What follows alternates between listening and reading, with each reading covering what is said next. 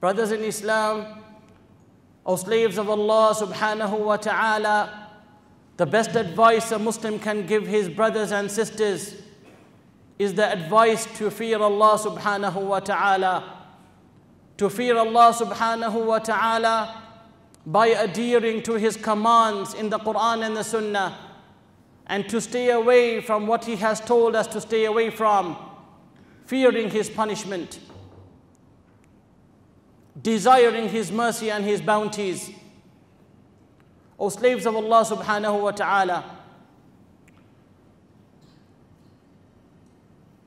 the definition of brotherhood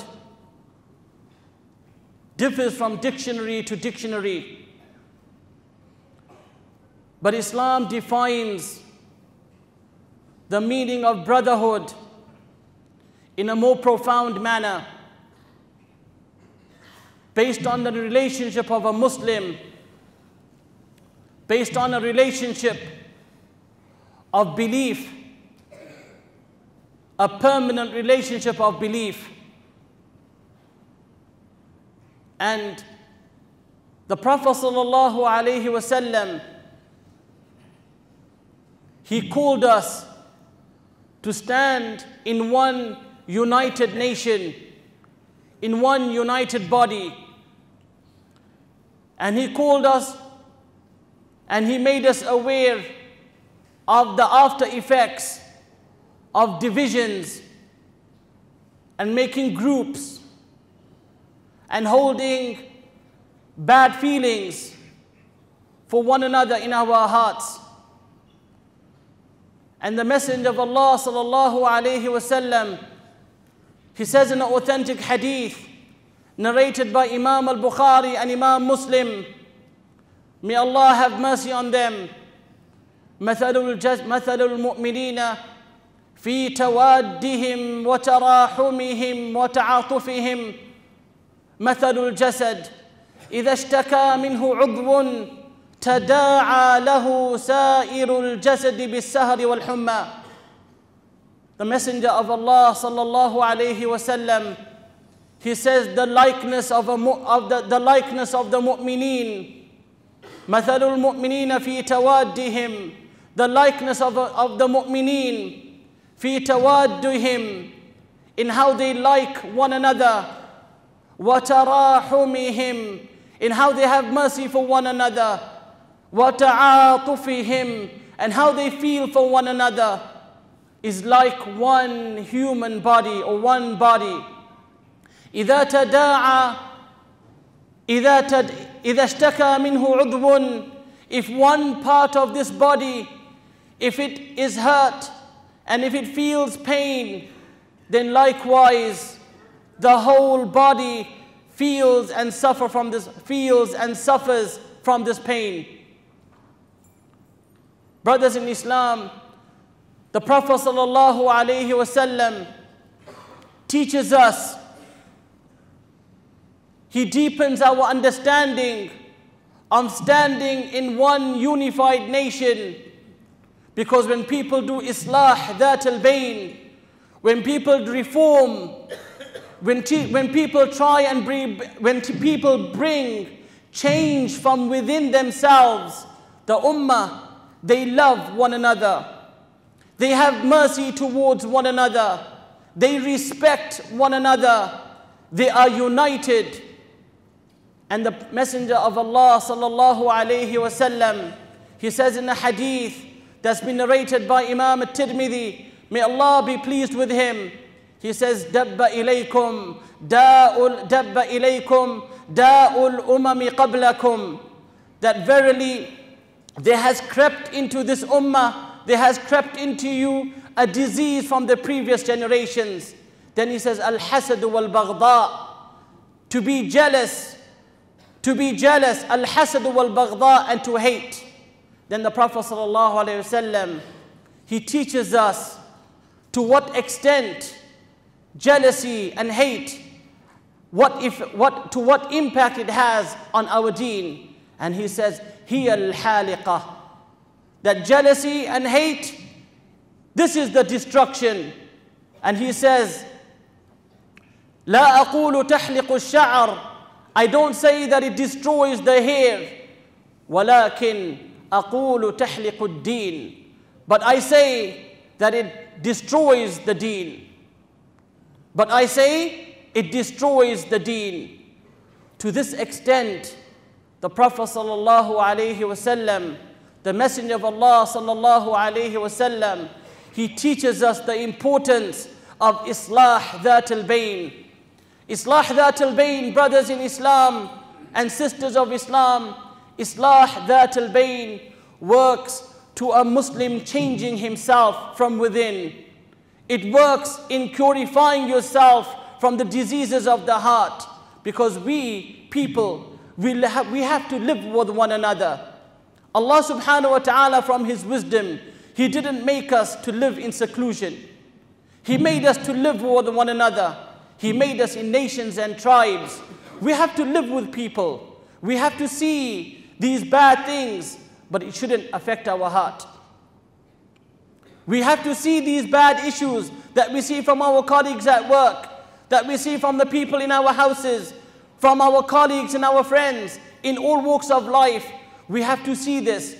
But we should not let it penetrate. We should not let it change. We should not let these ill feelings, we should do islah. We should always try and reform. We should always try and unite. We should always try and remove. We should always try and change ourselves in not being victims of people that are overcome with jealousy and hate.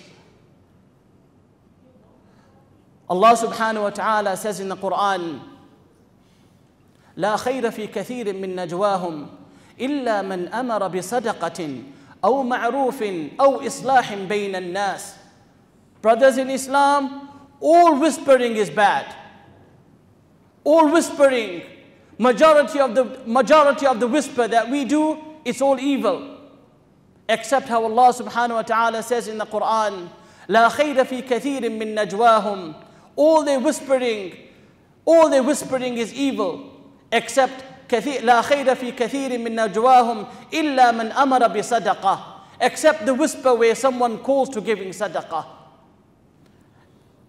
أو معروف or the whisper when someone calls to doing أمر بالمعروف والنهي عن المنكر when someone calls to enjoying the good and refrain from the evil and then Allah subhanahu wa ta'ala says أو إصلاح بين الناس when you whisper when you whisper to do islah, when you whisper to bring change, when you whisper to reform, when you whisper to unite, you bring people together after they have been separated.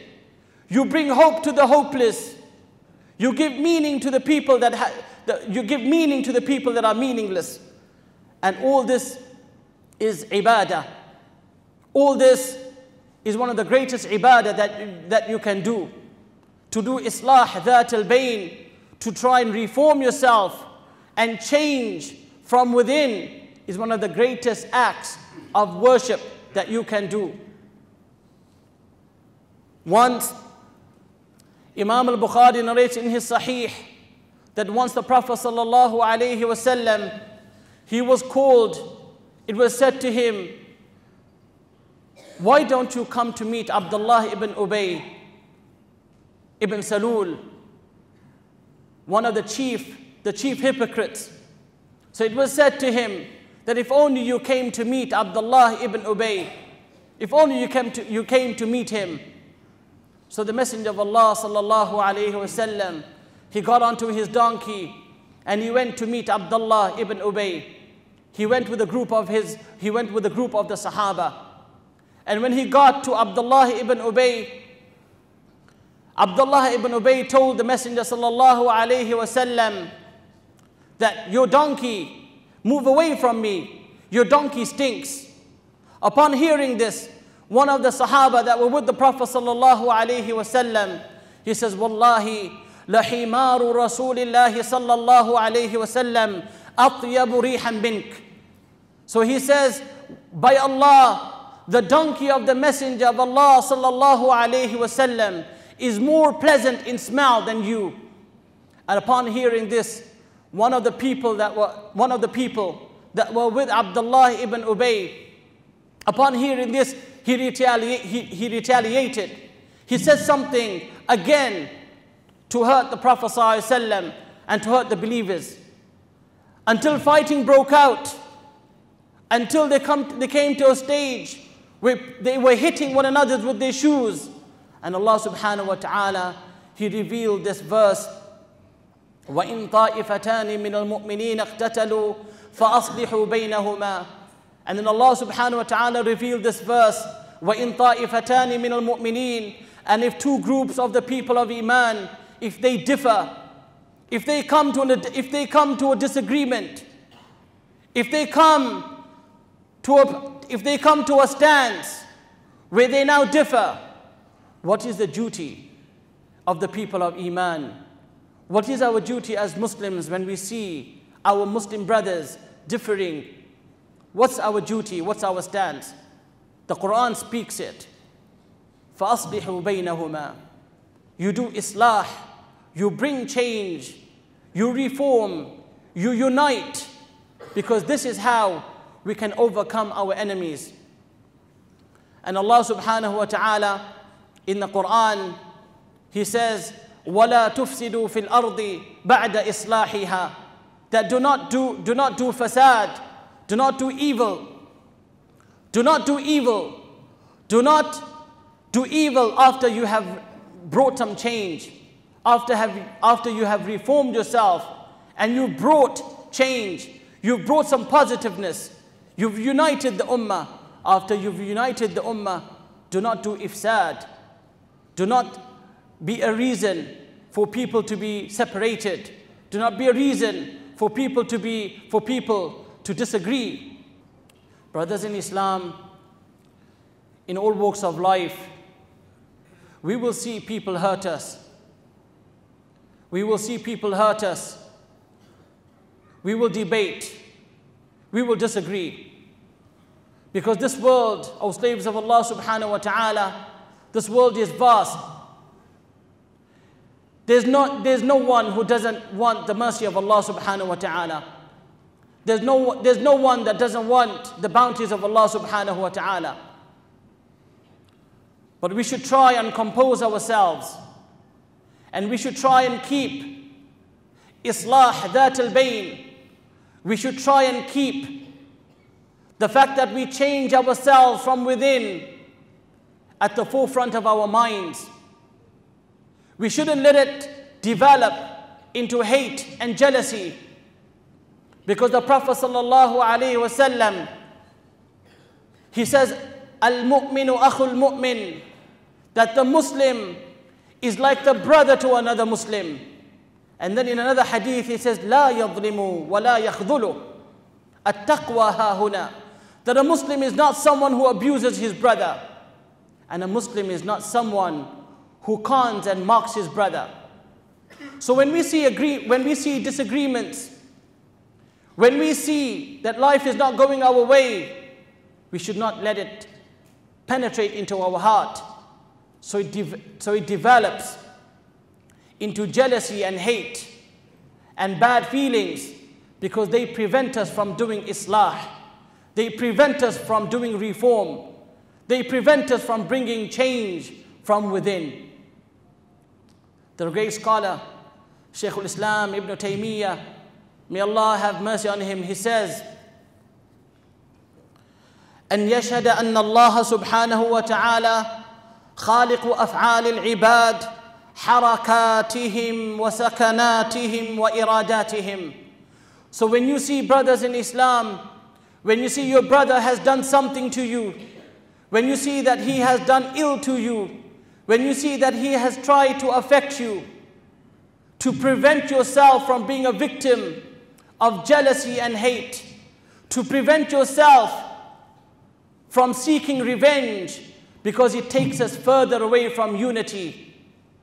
Rather than looking at this action from the perspective that he has done harm to me, look at it from the perspective like Shaykh al-Islam Ibn Taymiyyah says, for you to know that Allah subhanahu wa ta'ala, just like how He created the universe and everything that exists in it, he created the, he created the actions. He created the motions. the actions and the motions of the human being. And then he says, فَمَا شَاءَ اللَّهُ كَانَ وَمَا لَمْ يَشَأْ لَمْ يَكُنْ Whatever Allah subhanahu wa ta'ala wills, it will be. And whatever He wills not, it won't be.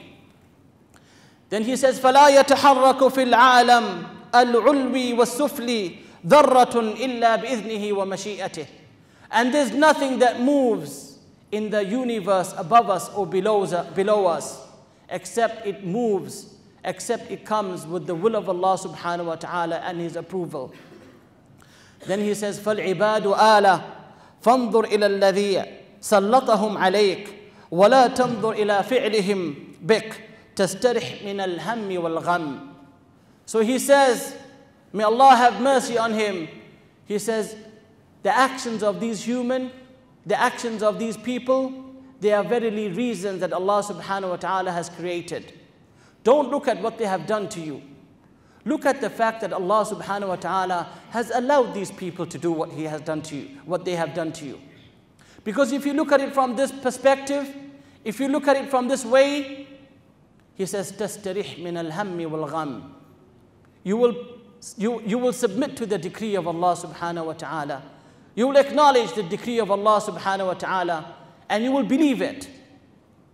تَسْتَرِحْ مِنَ الْهَمِّ وَالْغَمِّ and it will save you from being inflicted with sadness and sorrow. So, brothers in Islam, or slaves of Allah subhanahu wa ta'ala, if we understand the importance of Islah Dhat al Bain, how do we, in a world that's so challenging, how do we implement Islah Dhat al Bain to bring, to bring change from within ourselves? In a world so challenging, where our hearts are filled, filled with animosity and hate and jealousy and all the other diseases of the heart towards our fellow Muslim brothers and sisters. It's a duty of every Muslim that when you see your brothers and your sisters, when you see them disagree, you, you, you bring them back together again. You unite, you do Islah. But how do we implement this within ourselves? The first thing you have to do is that it's a duty of every Muslim. Let us look at the Sahaba, the best people after the Prophet ﷺ and the Prophets. When they used to make dua for their brothers, they would say, ربنا لا تجعل في قلوبنا غلا للذين آمنوا ربنا إنك رؤوف رحيم The companions, the messenger of uh, the, the, the companions of the Messenger of Allah sallallahu alaihi wasallam, they would ask in their dua, what would they ask? Would they ask for the dunya? Would they ask for the things that we ask for? No. they said, Rabbana la, taj- la taj'al fi qulubina ghillan lilladhina amanu. That, oh Allah subhanahu wa ta'ala, do not put in our hearts ghil. Do not put hate. Do not put any bad feelings for the people who have iman. Why did they ask, why did they ask Allah subhanahu wa ta'ala this? Because a heart that has hate, a heart that has jealousy, a heart that has evil, it is very far from bringing change from within them within itself. It's far from islah that al bain. If your heart has jealousy, if your heart is full of animosity and is full of hate, it's far from bring, bringing change within yourself.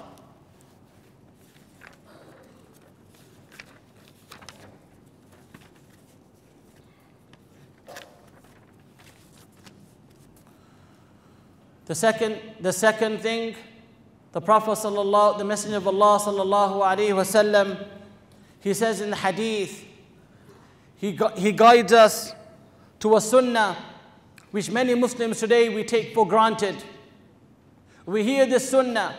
We've been taught this sunnah from the time we can remember, from our childhood, from our, from our childhood. We've been taught this sunnah, but we don't, some of us, we don't implement it.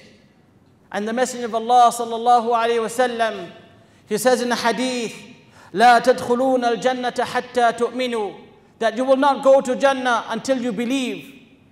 وَلَن تُؤْمِنُوا حَتَّى تَحَابُّوا And you will not believe until you love one another. Then he says, أَوَلَا أَدُلُّكُمْ عَلَى شَيْءٍ إِذَا فَعَلْتُمُوا تَحَابَبْتُمْ he says, Should I not guide you? Should I not lead you to an issue that if you guys do it, you guys would love one another? So he says, Afshu salama bainakum. If you really want to bring change, if you want to do islah that al bayn, if you want to bring change from within yourself, one of the remedies to remove those ill feelings, one of the remedies to remove those ill thoughts, is to make salam for your brother. And this is, this is why the Messenger of Allah وسلم, he says, أَوَلَا أَدُلُّكُمْ إِلَى شَيْءٍ إِذَا فَعَلْتُمُوا تَحَابَبْتُمْ Should it not lead you and guide you to something where if you do it, if you do it, you guys would love one another. He says, أَفْشُ السَّلَامَ بَيْنَكُمْ The third, the third thing that we need to remember and put at the forefront of our mind is that we live in a world, we live in times, just like the time of the Prophet ﷺ, bad happens. Sometimes you look at something, you translate it as evil. You translate it, you look at it from a bad perspective. And this is why Allah subhanahu wa ta'ala says in the Quran, إن بعد الظن إثم ولا تجسسوا Don't hold if you want to do islah, if you want to bring change, if you want to unite, if you want to become one united ummah, if you want to do islah that al you want to change from within yourself, you can't hold false thoughts. Because Allah subhanahu wa ta'ala, He says, Inna ba'da dhanni ithm. That having these thoughts, it's a sin. Look at how Allah subhanahu wa ta'ala, He regarded having ill thoughts, having bad thoughts about your brothers and your sisters, He regards it as a sin. And lastly, we should always remember if you want to do islah, if you want to change from within yourself, and you want to stand in unity with your brothers and your sisters, it's very important that you make dua.